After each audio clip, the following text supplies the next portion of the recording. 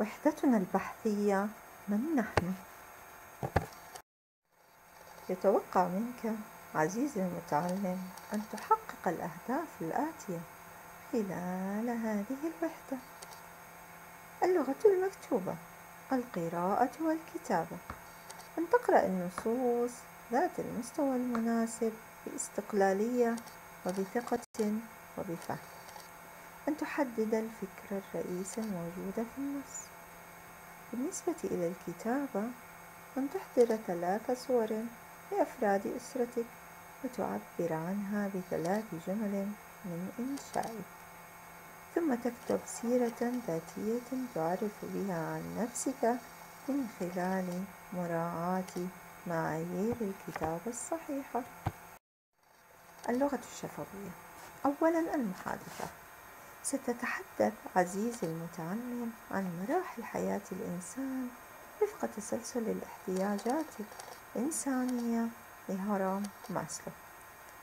ثم ستستمع إلى نصين.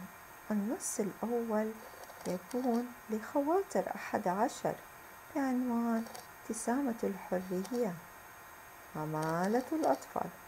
أما النص الثاني سيكون عن اليوم العالمي لمكافحة عمالة الأطفال. الفهم والاستيعاب. ستقرأ النص حسب معايير القراءة الصحيحة ثم تجيب عن أسئلة الفهم والاستيعاب.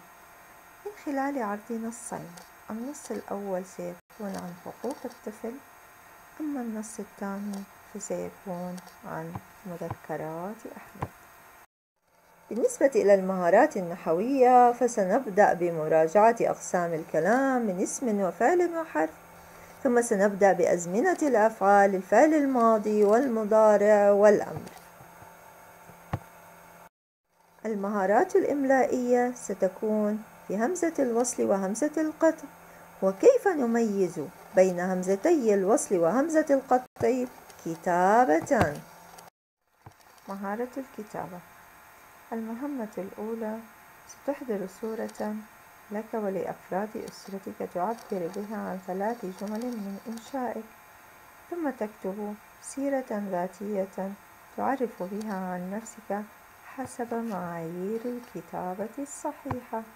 أعزائي أرجو أن تستمتعوا بهذه الوحدة. دمتم بحفظ الله ورعايته.